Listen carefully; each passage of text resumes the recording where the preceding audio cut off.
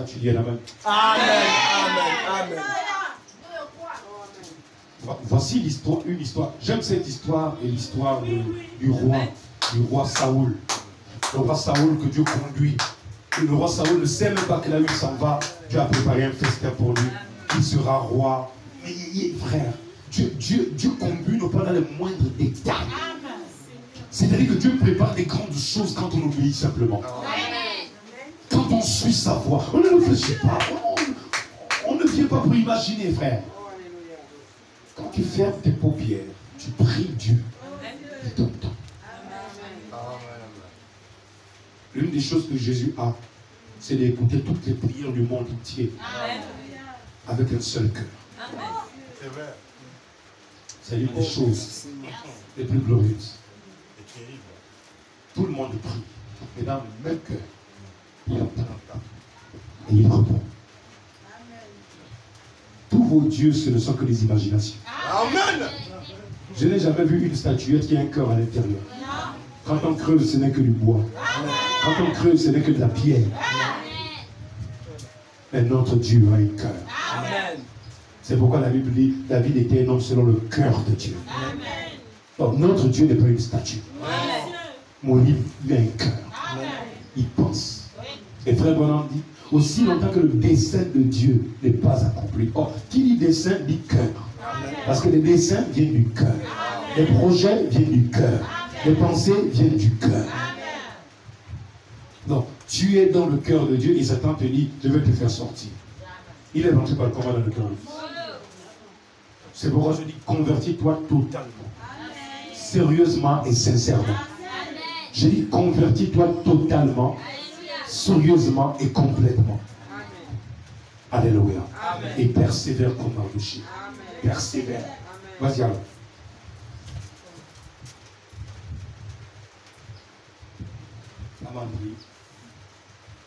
Fais ainsi pour Mardoché le juif, qui est assis à la porte du roi. Ne néglige rien de tout ce que tu as mentionné. Ne néglige rien.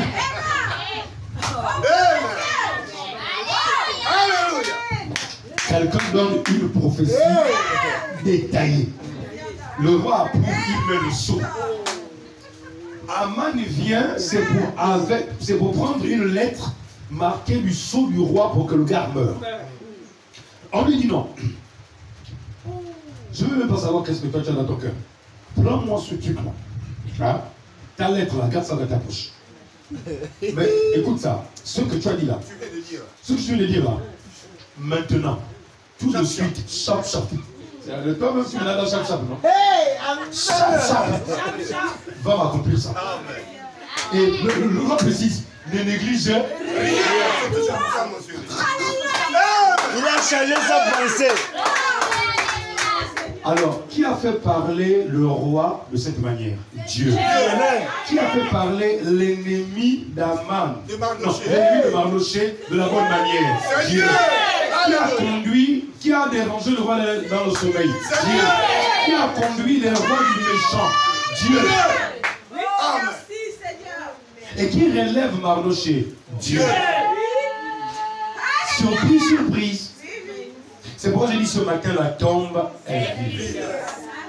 Nous devions demander à Dieu des surprises dans nos vies. Amen. disons à Dieu, fais-moi un cadeau de Pâques. Amen. Quand je vais rentrer, je ferai ma prière à 18h. Si je suis déjà à la maison. Seigneur, donne-moi un cadeau de Pâques. Amen. chacun a la manière de draguer Dieu. Hein? Moi, j'ai ma manière. Quand ça va pas, je, je m'allonge au sol. Amen. Totalement. Ouais, là, je lui demande que je suis sérieux. Parce qu'un genou, parfois, ça ne marche pas. Je m'allonge carrément ça.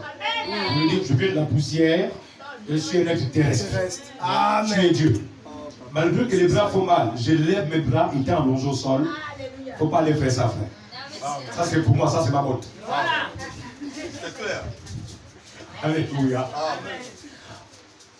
Chacun doit parler à Dieu. Merci. Et Aman prit le vêtement et le cheval. Il revêtit Manoché. Il le promena à cheval à travers la place de la ville. Et il cria devant lui. C'est ainsi que l'on fait l'homme que le roi veut honorer. Mais Aman, est-ce que toi tu étais parti pour honorer cet homme ou déshonorer? Dieu utilise la bouche de ton ennemi pour te glorifier. Amen. C'est un détail très important. C'est lui qui voulait te tuer. Euh, C'est c'est ainsi que le roi fait un homme que le roi veut honorer. Moi, ce qui va me faire mal, c'est sa femme.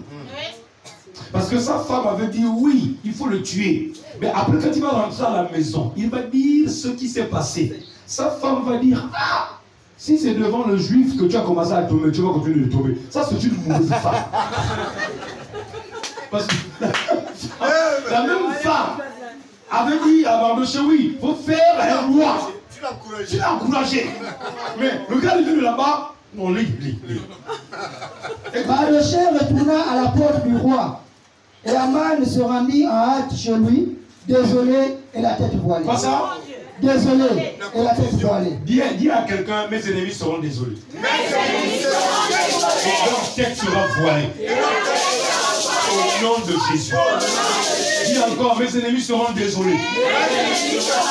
Et leur tête sera voilée. Au nom de Jésus. Rapidement. Aman raconta à Zeresh, sa femme, et à tous ses amis, tout ce qui lui était arrivé. Et ses sages, et Zeresh, sa femme, lui dirent, si Mardoché, devant lequel tu as commencé de tomber, est de la race des Juifs, Ah Père éternel, attends d'abord. Mais toi, Vous ne savez pas ça le but. Le peuple que vous voulez exterminer, c'est quel peuple? C'est le juif. Non, Vous savez qu'on ne combat pas les juifs Tu vas entendre la main Frère, il y a une race avec laquelle on ne joue pas. Je dis, hein? Tu es le Guinéen, il n'y a pas de problème. Tu es les Gabonais, il n'y a pas de problème. Et je n'entends pas les Anglais. Tu es les Anglais, il n'y a pas de problème. Tu es les Russes, il n'y a pas de problème. Tous, sont juifs. Papa, il faut dire, tu es mort en guerre. si Mardoché, Hein? devant lequel tu as commencé de tomber, est de la race des Juifs, Oui. tu ne pourras rien contre lui. Ça, c'est une mauvaise femme, ça. Ces conseillers sont des mauvais. Comment c'est sage, là Ça, ça c'est pas sagesse, ça, c'est bête. Oh, les- la même femme l'encourage de préparer le bois. Mais en revenant, elle dit Ah Dis-moi, en dossier juif, moi je lui dis T'es bête ou quoi? Ah, Et puis là, tu ne sais pas qui est juif. Amen. Amen. Vous savez, la sottise et la bêtise n'est pas le nom du mal. Amen. Quand les gens commettent des erreurs, frère, c'est parce que le mal habite leur cœur. C'est pourquoi, sœur, il faut éviter de sortir des bêtises et des sottises. Amen. Écoutez. Si Mardoché, devant lequel tu as commencé de tomber, est de la race des Juifs, tu ne pourras rien contre lui. Et, et ça, c'est une mauvaise prophétie encore. Quelqu'un vient déjà avec une crise cardiaque. Un, AVC avancé. Au lieu ma femme de m'encourager, ah non, chérie, ça va aller, faut supporter, le Seigneur est merveilleux, vraiment, tu sais, moi. non, Elle en peut, ça fait Elle en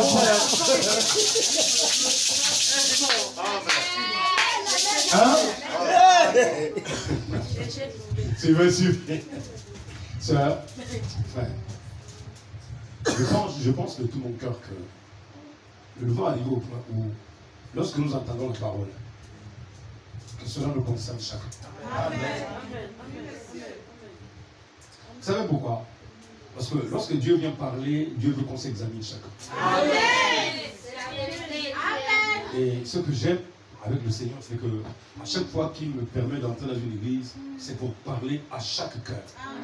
Et c'est ce que je lui disais ce matin, n'est-ce pas?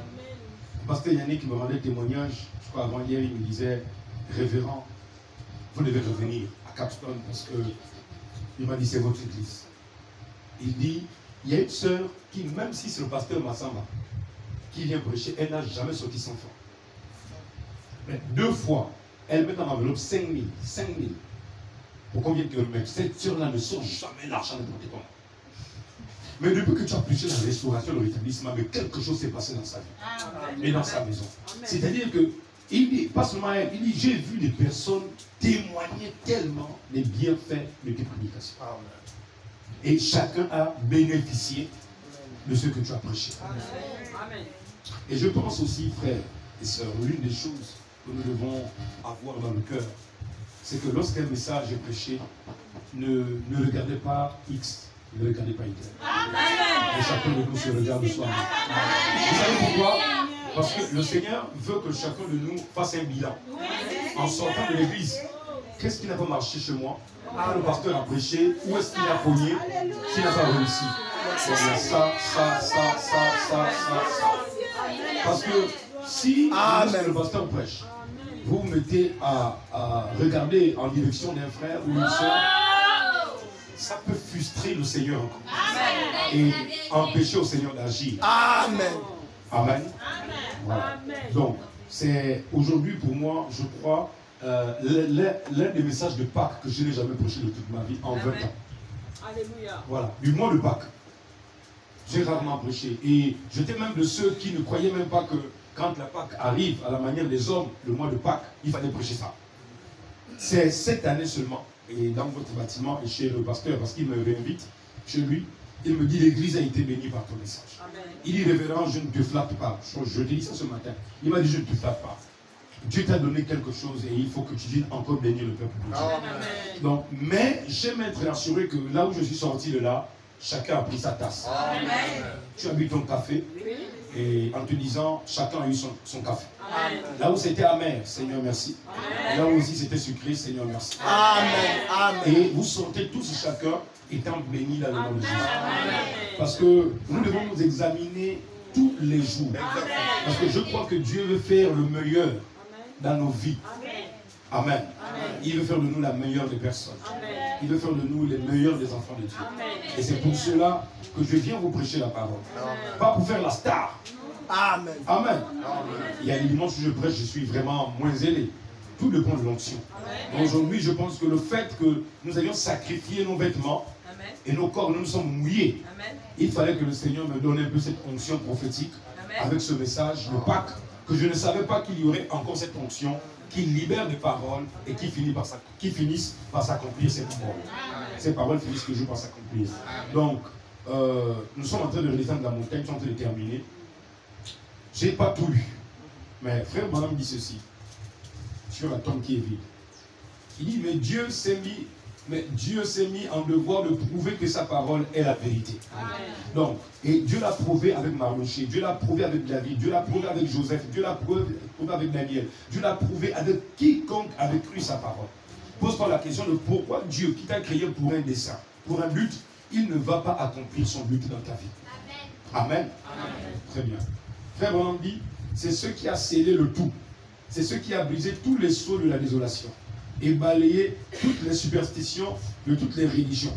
Alors que les grands hommes s'étaient élevés et avaient dit des choses glorieuses, merveilleuses, mais dans tout cela, ils sont tous dans la tombe. Mais notre religion chrétienne est la seule qui a la tombe vide. Amen. Non, je, prends, je prends ce terme-là du frère Bonham. Parce que dans la Bible, il est parlé de sépulcre. Amen. Le terme tombe n'existe pas dans la Bible. Mais quand frère Bonham parle de tombe vide, moi, ça m'a touché. Parce que moi, la tombe, c'est le sépulcre, c'est pour les juifs. Si, tu dis à quelqu'un, va au sépulcre, il va te demander, mais c'est dans quel bar, si tu es un buveur. Il va te demander ça. Mais si tu es un chrétien, il va te dire, sépulcre, c'est quoi S'il n'a pas lu la Bible.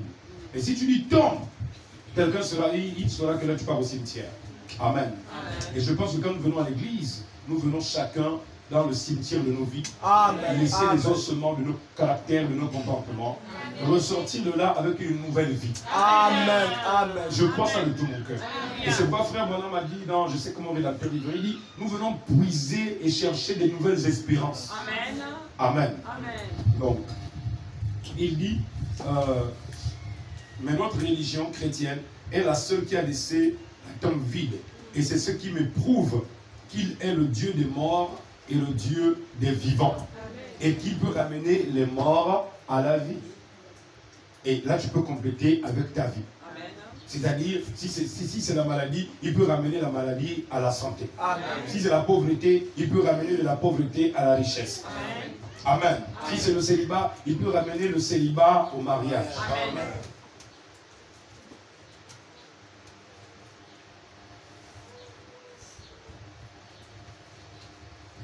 Euh, dans le Nouveau Testament. Non. Oui? D'accord. Ok, merci. Bon, le pasteur propose qu'on termine de lire toute l'histoire. C'est bon? Oui. Parce que je regardais l'heure et je ne veux pas vous faire sauter à chaque fois en retard. Bon, je demande à l'église, ceux qui sont pour que je prêche, lève la main. Allez-y, Bon, merci beaucoup, que Dieu vous bénisse. Oh, ok, allons-y. Allez, pasteur Steve.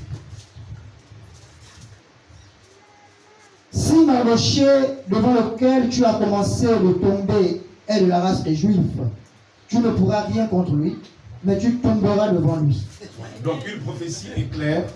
La femme dit maintenant en réalité, même si tu n'es pas encore tombé, mais je te prophétise que tu vas tomber.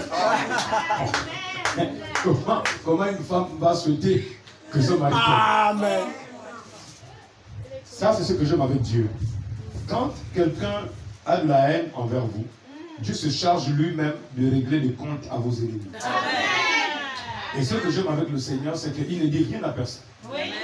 Et la pire des choses encore pour lui, et par exemple, c'est que même sa propre maison, qui, est- qui était un, qui était dans le soutien avec lui, qui bénissait, oh, mon chéri Marleux, mon chéri Aman, chéri, tu règnes, chéri, le roi t'aime. La même femme dit, tu vas tomber, mon gars. Donc, meurs vite, et moi, je, je épouse un autre parce que tu m'as enrichi. Parce qu'il y a des femmes qui attendent les, parfois la mort de leur mari. Amen. Amen. Amen. Vas-y, écoutez. Comme il lui parlait encore, les eunuques du roi arrivèrent et conduisirent aussitôt Aman au festin qu'Esther avait préparé. Chapitre 7. Le roi et Aman allèrent au festin chez la reine Esther. Ce second jour, le roi dit encore à Esther, pendant qu'on buvait le vin, quelle est ta demande, reine Esther? Quelle te sera accordée, Elle te sera accordée? Que désires-tu? Quand ce serait la moitié du royaume, tu l'obtiendras. La reine Esther répondit, si j'ai trouvé grâce à tes yeux, ô roi, et si le roi le trouve bon, accorde-moi la vie. Voilà ma demande. Et sauve mon peuple. Voilà mon désir. Car nous sommes vendus, moi et mon peuple, pour être détruits, égorgés, anéantis. Encore si nous étions vendus pour devenir esclaves et servantes, je me dirais, mais l'ennemi ne saurait compenser le dommage fait au roi. Le roi Assyrus prit la parole et dit à la reine Esther, Qui est Qui est-il?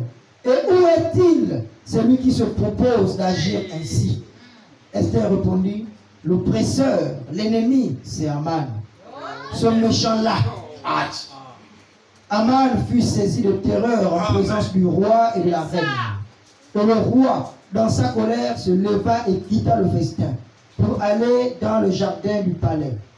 Aman resta pour demander grâce de la vie à la reine Esther, car il voyait bien que sa perte était arrêtée dans l'esprit du roi. Sa perte était quoi ça? Arrêtée Dans l'esprit du roi. Lorsque le roi revint du jardin du palais dans la salle du festin, il vit Aman qui s'était précipité vers le lit sur lequel était Esther. Et il dit, serait-ce encore pour faire violence à la reine chez moi? C'est-à-dire, pour le roi, il arrive, il trouve Aman en train de chercher à déshabiller la reine. Il dit, ah, tu veux même violer ma femme maintenant? Le temps où je me tourne un peu, tu veux maintenant attraper ma femme? C'est-à-dire que Dieu a permis que au moment où le roi rentre là dans la salle, Aman se mette à toucher les vêtements de la reine Esther. Quelle, quelle idée le roi a eu Ah, Le type là, bon, peut-être je venais même pour lui pardonner. Il m'a rendu quand même des services. Mais jusqu'à toucher ma femme. Vas-y, continue. Et il dit, serait-ce encore pour faire violence à la reine chez moi, dans le palais? Dès cette parole fut sortie de la bouche du roi, on voilà le visage d'Aman. Et Arbona, l'un des eunuques, dit en présence du roi, voici, le bois préparé par Aman pour Mardoché Donc, l'histoire était connue au palais que Mardoché devait mourir. Mais personne n'avait le courage de dire au roi que Aman voulait tuer Mardoché. Mais au moment maintenant où on doit régler les comptes, Dieu permet que l'histoire ressurgisse. Le projet de pendre Mardoché se renverse maintenant contre Mardoché. C'est pourquoi, euh, oui, contre Aman. C'est pourquoi la Bible dit que, je vais vous lire ça plus tard, l'éternel est celui qui change le mal en bien. Hein? Dieu peut faire changer une histoire rien qu'à cause de ton cœur. Juste un peu de patience. Garde ton cœur plein d'amour. Ne regarde pas ce qui se passe. Ne regarde pas ce qui se dit. Sois confiant, mon frère. Sois confiante, ma soeur. Dieu est réel. Il y a le Dieu est réel. Voici. Voici le bois préparé par Aman pour Mardoché, qui a parlé pour le bien du roi, est dressé dans la maison d'Aman, à une hauteur de 50 coudées. Le roi dit qu'on y pende Aman. C'est tout. Et l'on pendit Aman au bois qu'il avait préparé pour Mardoché, et la colère du roi s'apaisa. Merci. Acclamons le Seigneur.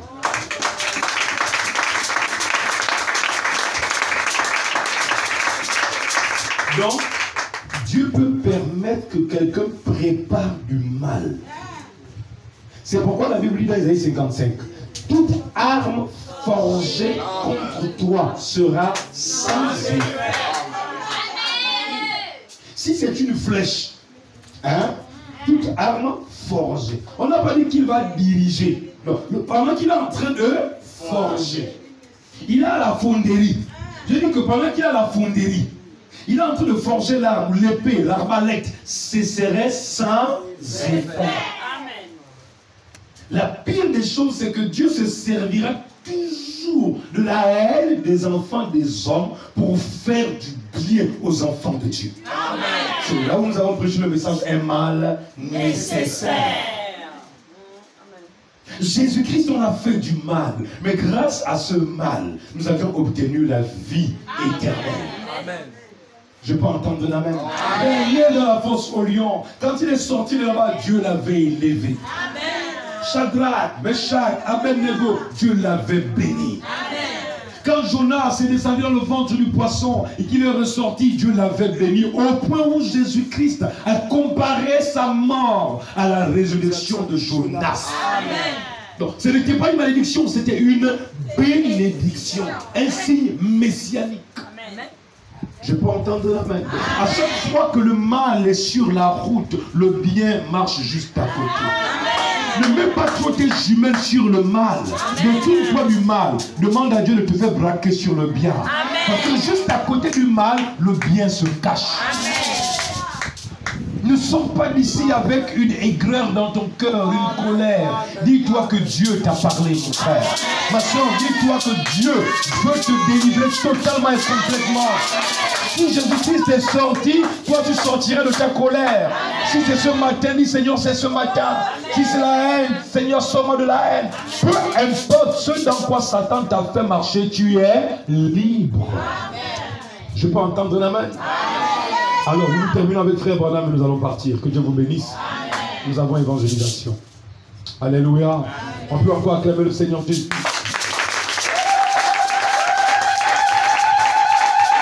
Il est vivant. Il est ressuscité. Il est vivant. Qui? Qui? Qui? Ok. Ok. Frère Branham dit. Frère Branham dit. Il dit quoi? On a lu ma chez vous avez dit Amen. Frère Branham dit. Il dit quoi? Paragraphe 11, je sais comme rédacteur vivant, le 6 avril 1958. Il dit Et Dieu ne nous a pas créés, vous et moi, juste pour voir s'il pouvait le faire. Il nous a créés pour un dessein. Et c'est pourquoi il y a. C'est pourquoi il y a un dessein pour lequel nous sommes tous ici. Vous n'êtes pas ici simplement pour qu'il y ait un autre être humain de plus. Quand je vous disais qu'il y a des termes, des mots qui touchent la sensibilité d'un esprit qui aime le Seigneur, tu n'es pas ici pour qu'on ait un autre humain de plus sur la terre. Quand on comptera les habitants de la terre, euh, quand on dit oui, plus, euh, on avait oublié un là, plus. Non, tu es ici sur la terre pour redescendre.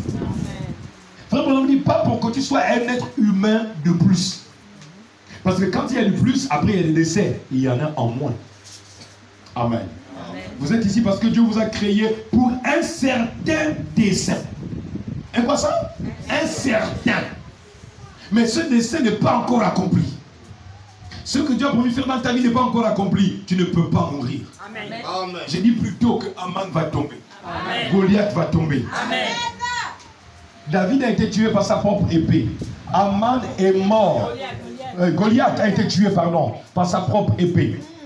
David l'a tué par l'épée de Goliath. Aman a été pendu à son propre bois. Satan mourra par son propre mensonge. N'est-ce pas, non? Il vient te mentir dans ta pensée, refuse ça. Dis à Satan, tu mourras par ton propre mensonge. Frère dit, c'était le plan de Dieu de faire ainsi?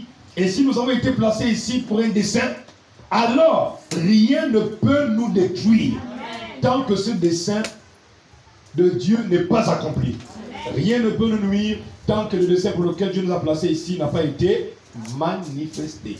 Ça, c'était dans le paragraphe 12, je pense. Paragraphe 13, je descends. Le dessein de Dieu ne peut jamais échouer. Je peux entendre la main? Dieu avait créé. Et, et après même, Marlouche va dire à Esther, toi tu apprends qu'on veut tuer les Juifs, tu es assise au palais. Il va dire à sa nièce, qu'est-ce qui ne te fait pas dire que si tu es reine là, c'est pour sauver le peuple? Parce que Dieu ne fait rien pour rien. Il n'y a pas de cause sans... C'était Je peux entendre la main? Qui t'a dit que tu es reine parce que tu es la plus belle? Vraiment. Je peux entendre la main? Amen. Que tu viens avec tel frère parce que tu es la plus belle Oh, vraiment? Tu aurais pu être dans une rue en train de traîner quelque part. Je vous disais, les sœurs, c'est avec beaucoup d'amour que je vous le dis. Vous auriez pu être dans des familles de vos parents en train de discuter des plats de vie. Aujourd'hui, tu t'as donné ta propre marmite à toi. Dans la, tu prépares. Ça. Hein? Amen. Faut pas faire l'orgueil, Alléluia. C'est du la mal. vérité. Tu aurais pu être avec tes sœurs en train de discuter le plat. Et comme je vous disais la dernière fois, quand les cousins arrivent en plus des villages, tu demandes, mais rien ils partent quand? Parce que le kilo de riz qu'on mangeait, où chacun avait son morceau, on divise le morceau à quatre. C'est là que tu demandes, les cousins ne ne repartent pas depuis là. Hein? Sœur, Dieu te donne un nom. Amen. Tu as le congélateur. Hmm. Tu fais toi-même ce que tu veux. Tu prépares comme tu veux. Soyez reconnaissants dans les moindres choses. Amen. C'est tout. Amen. Je crois que c'est Dieu qui vous parle. Amen. Le dessein de Dieu ne peut jamais, c'est vraiment qui parle, jamais échouer. Et après il dit, rien ne peut le faire échouer. Frère, ça, ça ne règle pas la question. Pour moi, ça règle la question. Dans ma vie, Dieu ne peut pas échouer. Amen. Si Dieu m'a dit qu'il me guérit, il me guérira. Il me guérira. Ah. Si Dieu m'a dit qu'il me tablira, il me lèvera, il me lèvera. Ce n'est pas une affaire de ah, ils ne sont pas d'accord, oui, ils sont d'accord, oui, ils veulent me tuer, ils veulent me tuer. J'ai dit, hein, qui? Aman Ils vont se voir. Ils vont mourir. Aman est mort. Amen. Mardoché a pris sa place aussi. Chap, chap. Oui, monsieur. Donc, la place que l'autre ne voulait pas, qu'est-ce qui s'est passé? L'autre l'a voulu. Je peux entendre la main. Amen. Parce qu'après, la logique voudrait que, comme toi tu as voulu tuer cet homme, le roi dit Je te donne sa place. Prends la place. Et Mardoché a pris la place d'Aman. Mais ce qu'Aman n'avait pas eu comme grâce, c'était d'avoir la couronne royale, le vêtement royal et d'avoir quoi? On on parlait de quoi? Du cheval. Il n'a pas eu ça. Oh, il y a des grâces que Dieu nous réserve. Dis à ton frère, dis à ta soeur, il y a des grâces que Dieu nous Il y réserve. a des grâces que Dieu nous réserve. C'est pourquoi frère, frère Branham a dit. Il dit quoi? C'est le dernier paragraphe, on va partir. Frère Branham dit. Il dit quoi? Frère Branham dit. Il dit quoi? Le dessein de Dieu ne peut jamais échouer. Amen. Rien ne peut le faire échouer. Alléluia. On, on- on part à la maison, c'est avec ça. Oui, Donc, arrêtez de penser de mythotes, mythotes. Ah Il, il dit, Frère Branham dit, Frère Branham dit, Il combien devrions-nous être heureux aujourd'hui? En nous reposant sur cette belle révélation de la parole du Dieu vivant. Alors, Amen. ce matin, je dis c'est une belle révélation. Oui, monsieur. Amen, c'est une belle Révélation de la parole. de Dieu. Oui. Il dit, à savoir que ni les choses présentes, ni les choses à venir. Amen. Oh non, ton cas va s'empirer, tu ne vas jamais te marier, tu ne vas jamais travailler. Tu es venu en retard. Tu es venu en retard. Maintenant, je sais que mon rédempteur est vivant. C'est la Oui, Pâque. monsieur. C'est quoi ça? La part. La tombe est Amen. Sœur, qui peut t'arrêter? Personne. Qui peut m'arrêter? Personne. Quel- Merci. Alléluia. C'est merveilleux. Moi, ce qui m'étonne, c'est que dans tout ça, Dieu est assis sur son trône. Personne ne le voit, mais il dirige tout. Comme un, on appelle ça comme à la dame, hein. un damier, il pousse les pions. Voir. Et dans tout ça, Dieu gagne toujours. Le bien contre le mal. Vas-y, ouais, vas-y. Quelqu'un, il est rangé contre la haine, contre toi. Il ne sait pas que c'est un pion qui est en train de pousser. Oh frère, c'est merveilleux. Il dit combien de nous être heureux aujourd'hui. Aujourd'hui, en nous reposant sur cette belle révélation de la parole du Dieu vivant, à savoir que ni les choses présentes, ni les choses à venir. Hmm. Et puis, lisez avec moi. Ni quoi? Ah, il n'a pas affiché ça. Ni la maladie, Amen. ni la souffrance, ni la mort. Amen. Pa- Prenons au paragraphe 13. C'est le dernier paragraphe. On va lire ça ensemble. 13. Descends. Non, remonte, remonte. 13. 13. Monte, monte. Ok. Quelque part. Non, Encore. vas-y. Stop. 15, vas-y. Encore Ok. Ok.